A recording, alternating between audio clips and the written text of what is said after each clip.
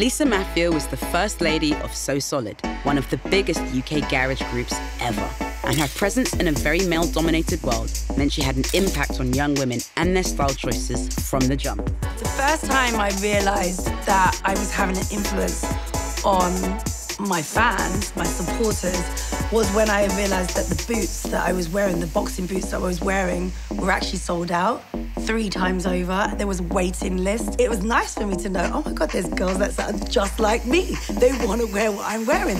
They know how it feels not to want to put on these heels, you know, and want to still feel a little bit girly and a little bit different. So it's lovely to know that. It all starts with the music, but where does it end up?